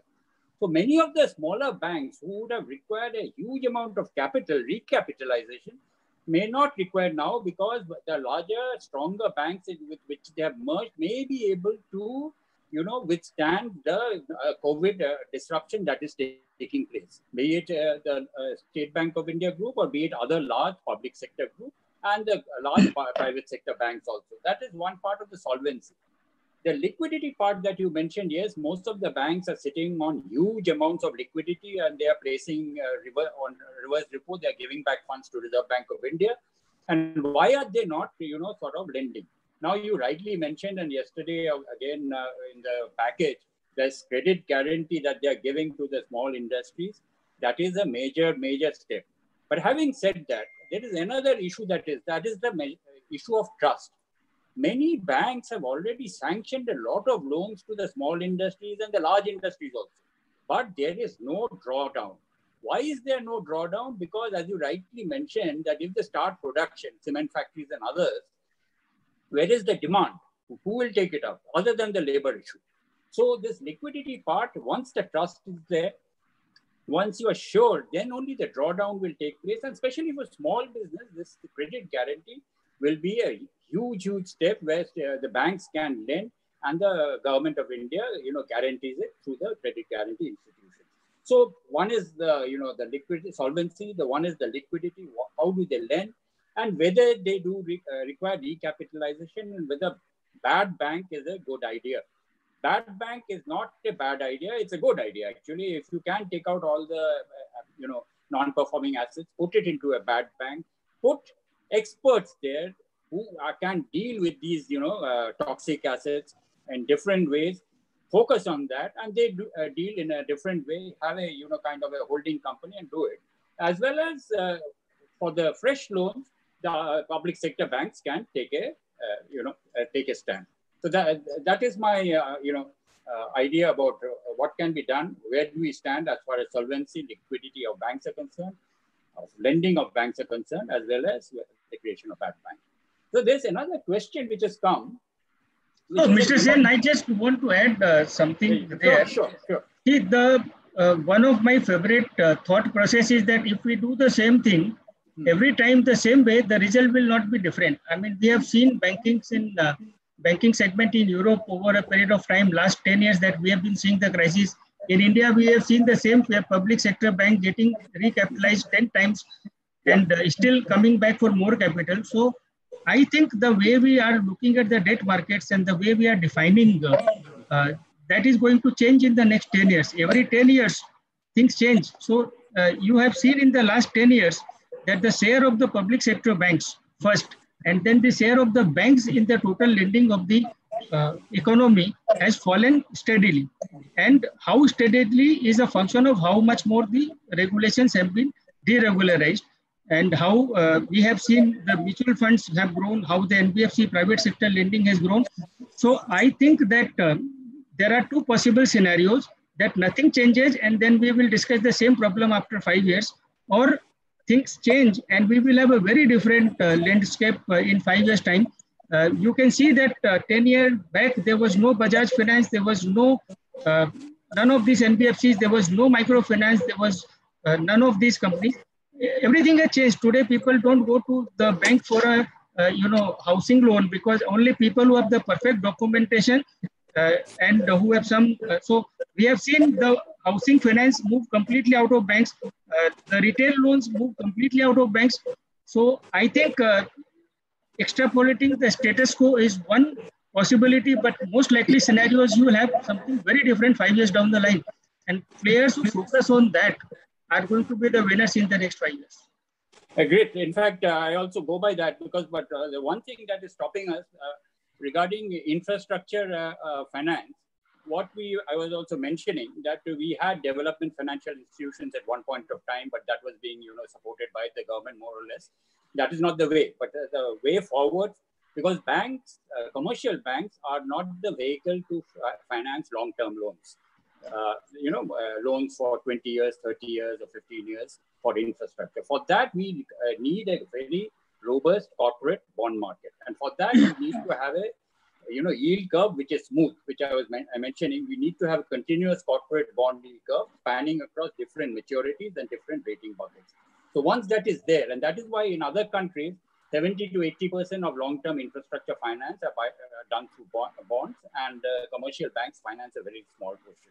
So this is one area I think uh, if you can just add so I think as far as the development of the corporate bond market is concerned, and uh, if you will recall, that is why I mentioned in the middle of my presentation that this is the first time that I have seen the mutual funds sell their illiquid assets first, the lower rated assets first to meet with the redemption requirement. And because of which we saw even some uh, public sector bank uh, tier 2 bonds like PNB and Andhra Bank trade at about 14% also. Now that is huge. What does it reflect? The market price reflects not only the credit quality of the issuer, because you can't question the credit quality of PNB uh, because it is owned by the government of India. It also reflects the relative illiquidity in the market. It also reflects the fact that we are an illiquid market. So uh, what is happening to the corporate bond market today and why it is not developing is, you know, to give you a simple analogy, exactly the same as what is happening to the real estate market. Why the real estate got uh, market got crashed is because uh, builders don't want to bring down the prices to meet with the uh, to a point where the demand is, uh, you know, created. Uh, they are continuing to build new projects aggressively before selling the previous projects. Exactly the same thing is happening in corporate bond market. If I have bought some asset at 5% yield, I will not sell it at 5.1%, even though I tomorrow may get an opportunity of 6%. So we have a very frozen uh, valuation system and the most of the books of the banks uh, is not reflecting the true value of the loan. Today, if you look at the last five years, the public sector banks are now all at, on the edge of their capital adequacy requirement.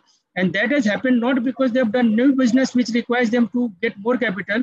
It is not that they have created new NPAs, but it is just that they have recognized their fresh NPAs or the true NPAs. And because of that, you look at the divergence between the performance of the stock price of the public sector banks and the stock price of the private sector banks.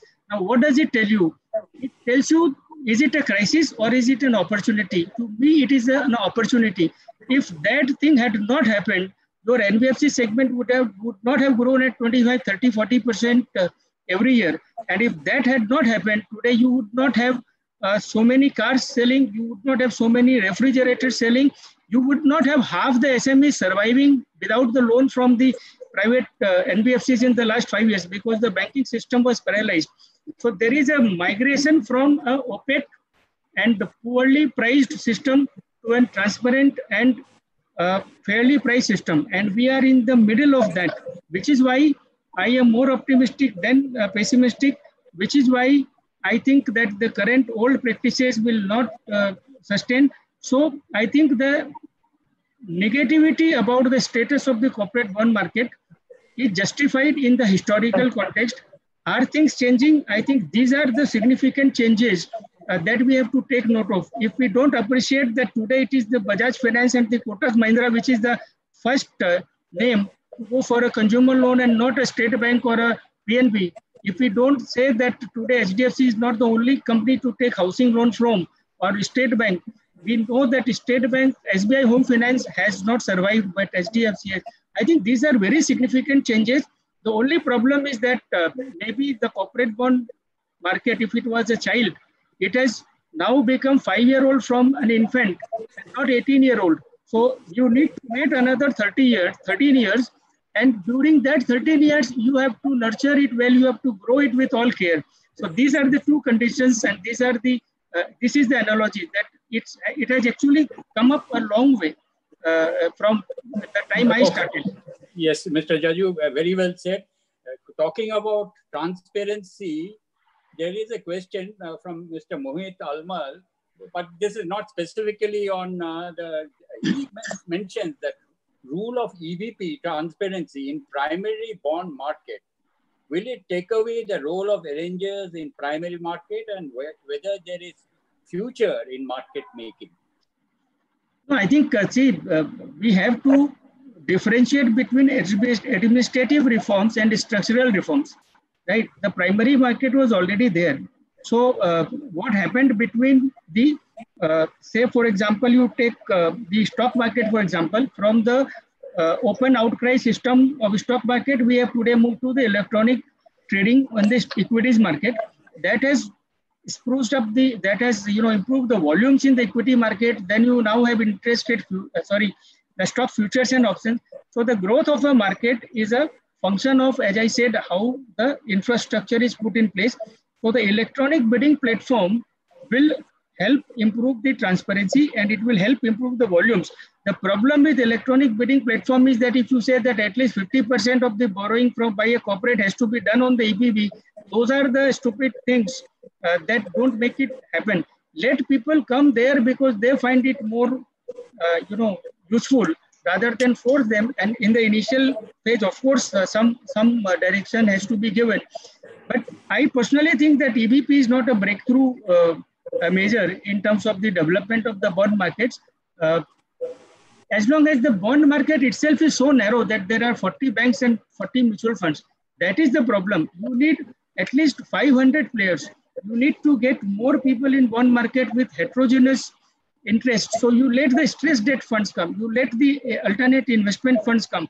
You let the high yield, uh, low yield, all kind of players. And today it is happening. I can tell you uh, there are a lot of companies which are not uh, looked at very positively by the Indian uh, bond market players. But I am getting a lot of inquiries from the stressed debt funds as to whether uh, we will be looking to sell those papers, whether that pricing is fair, etc. So uh, I think that EBP is a very small component of the total development process. Okay. So, uh, you know, connected to this uh, question, uh, there are a couple of uh, questions which have come. For arriving at a risk profile of a debt scheme, does credit risk dominate or liquidity risk? Does credit risk dominate or liquidity risk? I think uh, we cannot uh, mutually exclusively look at any of those factors. Uh, if you give me a minute, I will like to tell you a small story. That is the way I look to describe some of these issues for easy understanding. You see, what happens is that one person in a village goes to buy a mango. So he goes to the village shop and asks the vendor that buy kaise diya mango. So he said, sir, it is 800 rupees per dozen. 800 per dozen is very expensive. Then he glances in the side, there is another basket kept where there are some more ripened mangoes kept. And then he said, uh, Ye kya? He said, this is 600 rupees per kg. He said, why these mangoes are cheap? I said, these are the fruits which fall when they are ripe automatically from the tree. Therefore, we sell it at a cheaper price. So he says that if this is cheaper quality, it should be still cheaper. I'll pay 500. Okay, he takes the mangoes home. Next morning, invariably, he wakes up with a very strong upset stomach. He has loose motions, etc. So he has to take medication. In the evening, he goes back to the fruit vendor and says, what nonsense have you done? Because of you, my uh, stomach was upset. I had this diarrhea, etc., etc. He blasted on him and said, you need to get the compensation for the medical expenses and the sufferings I have to go through. So the fruit vendor quietly stood up and said, sir, there is no problem with my mangoes. He said, how can you say that I had a, no, no, sir, there is no problem with my mangoes. The problem is with your digestion system because all these cheap mangoes, which I can't sell during the day, in the evening, I give it to my cow. She never had indigestion, right? So it is your risk appetite you need to understand first. Then you have to look at the mutual funds or the debt market. Half the people don't do their own risk profiling. The debt funds come Correct. to you in a variety of range, uh, credit funds to liquid funds. Uh, so that is the first thing. Uh, the second thing is that uh, liquidity is a function of the market conditions. It is not constant throughout, but the credit is a risk which is constant. It is always bad or it is always good unless there are structural changes in the operating environment of the company. So I think liquidity is something uh, which uh, changes according to market condition. I think what people should look at is the safety of their portfolio first. They should avoid the credit risk if you see the debt market, all the problems that we have faced in the past is because of the poor credit decision. They were because of the liquidity decision. So I think uh, the liquidity is of secondary importance. It is the credit and not the good credit, bad credit. It is your appetite of credit which is important. Appetite. Okay. Now I will ask uh, before we end two questions to Mr. Mohanty. Uh, okay. in fact, No, actually, Mr. Ask... Sen, I have just one more question because one of the viewers has sent me a yes, message yes, yes, yes. Uh, for Mr. Jajoo.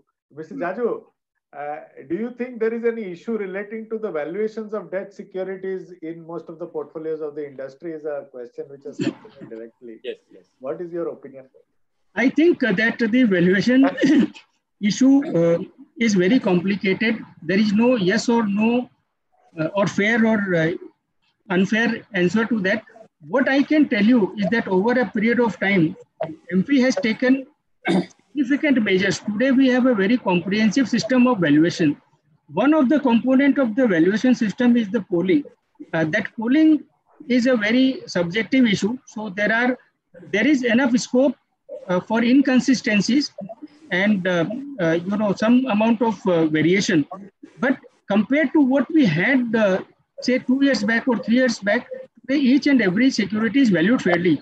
Now that is the first part. The second part where the valuation uh, is a challenge is that uh, there is a conflict of interest. Suppose if all five people are holding the same security where the credit condition has changed or liquidity condition has changed if all five people give an opinion poll that no this is the fair value so unless the security is traded in the market you don't understand the fair value and which is why again in the middle of my presentation i said i was very happy when the public sector tier 2 bonds got traded at 14% and it is the mutual funds who first sold the illiquid and the retail uh, and the uh, low rated assets.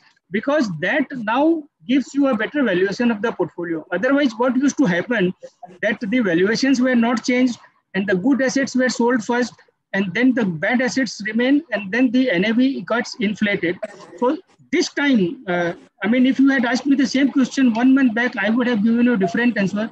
But i think today uh, there are still a lot of challenges in terms of valuation, but today we have perhaps the best reflecting uh, to reality reality valuations in the debt mutual funds. Uh, it is still not free of challenges, still not free of problems, but I think uh, like the credit problem was isolated in uh, a few pockets, I think increasingly the valuation problem is getting isolated in a few pockets.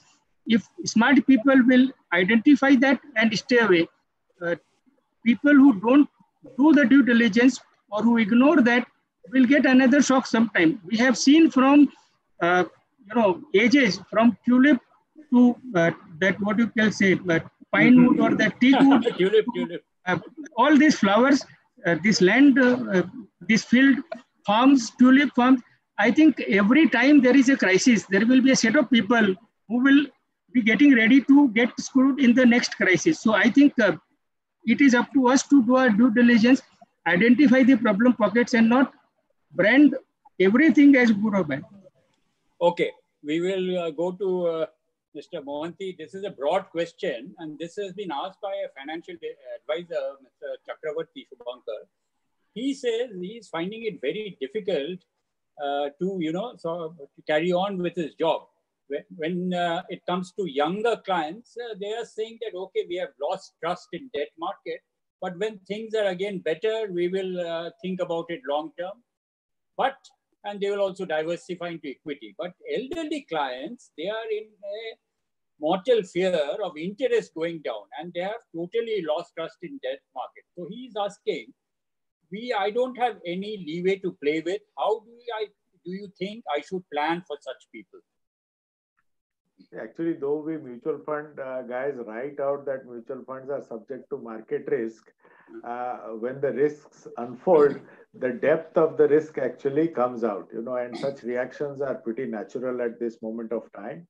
And let's let me put some things in perspective. If you look at, and I think Mr. Jajoo touched on it a bit, but I'd like to elaborate it. And let's be a little honest in this discussion.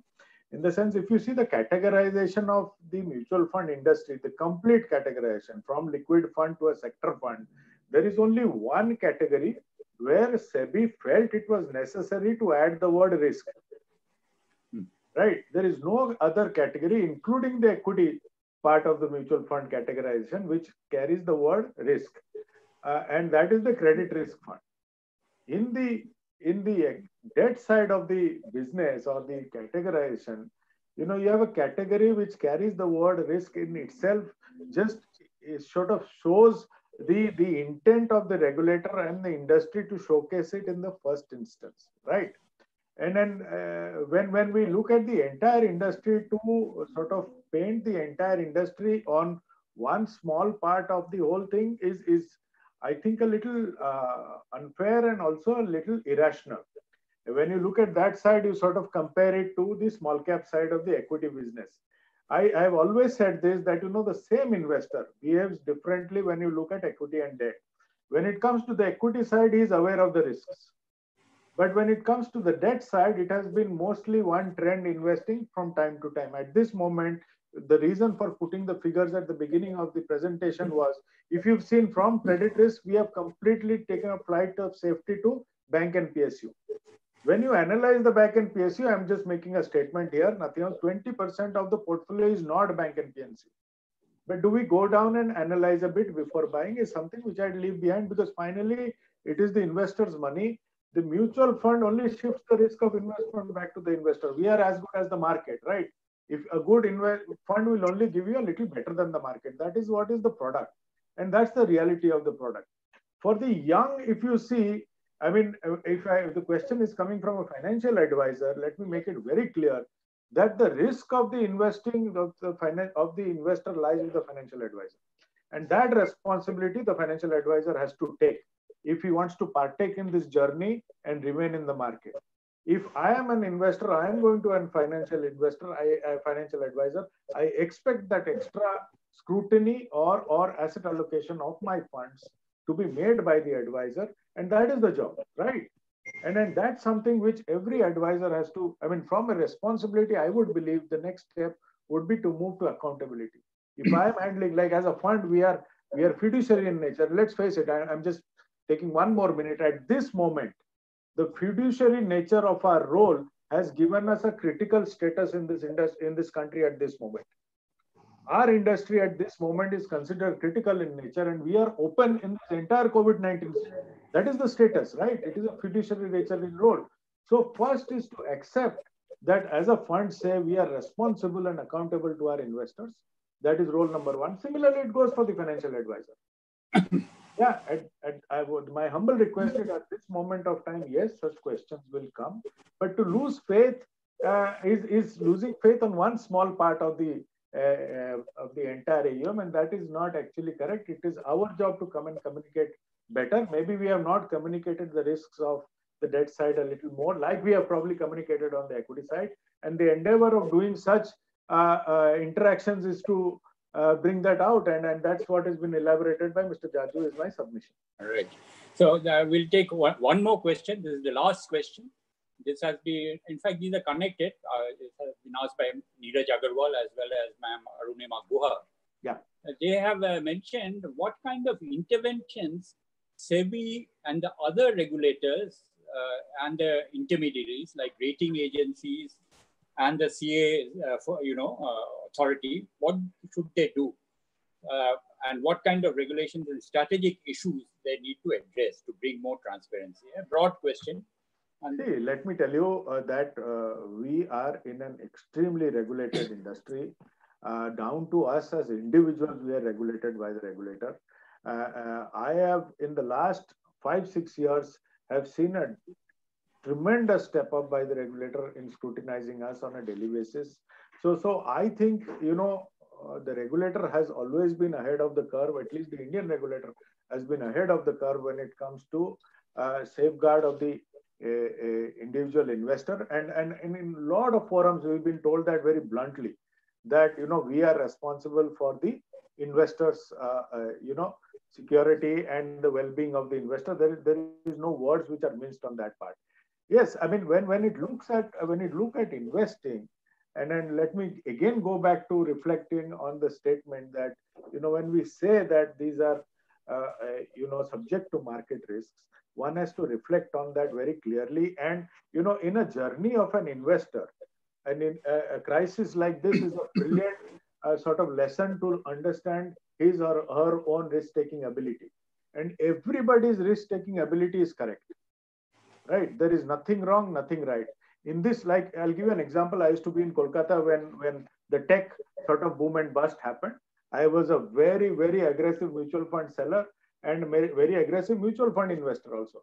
But post 2000 was my first brush with uh, what I call risk. And after that, I have graduated to start understanding that this is actually a business of risk and not of returns. If you manage your risk well, the portfolio will be a better sort of investment experience. And that's something which a COVID-19 also brings up. It is a reality check of what is acceptable to me, what is not acceptable to me. And every individual's risk-taking ability is different. Hence, everybody has their own right of looking at investment in their own manner. Some people will definitely say, okay, this much of risk is not acceptable to me. Let me not come to mutual funds, which is fair. It is it's, it's this period which actually gives you out that risk rating uh, potential. And I, I humbly request everybody to check that. But at the same time, be a little rational and un unemotional and don't paint the entire thing with one brush because it is not. Anyway, uh, in fact, before I end, I would like to thank, first of all, all the participants who connected today, and especially from Mirae, Mr. Mohanty, Mr. Jajoo, beautiful presentation, and also Mr. Rajarshi Ghosh and his team of Indian Chamber of Commerce who made it all possible. In fact, uh, we'll try to bring more such uh, you know, webinars uh, to understand for people, laymen like uh, us, so that it, we can take it forward. Thank you, everybody, for connecting, and God bless to all of you. Thank you. Thank you for having us. Thank you so much, sir. Thank you. Thank you. Thank you, everyone. Thank, thank you. Thank you.